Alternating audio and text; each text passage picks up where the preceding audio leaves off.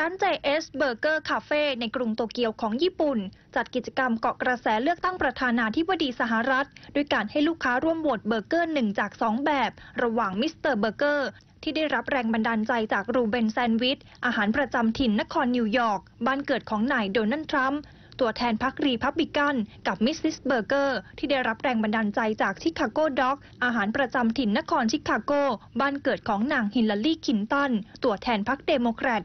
กิจกรรมดังกล่าวจัดขึ้นเป็นเวลา 2 วัน ถึงวันพรุ่งนี้ หรือ 8 ตุลาคม และจะประกาศผลผู้ชนะในวันอาทิตย์ที่ 9 ตุลาคม โดยเบอร์เกอร์ที่แพ้จะถูกลบออกจากเมนูของร้าน ส่วนเบอร์เกอร์ที่ชนะใจลูกค้า จะได้อยู่ในเมนูของร้านแห่งนี้นาน1ปี ซึ่งก็มีลูกค้าจำนวนมากตอบรับกิจกรรมดังกล่าว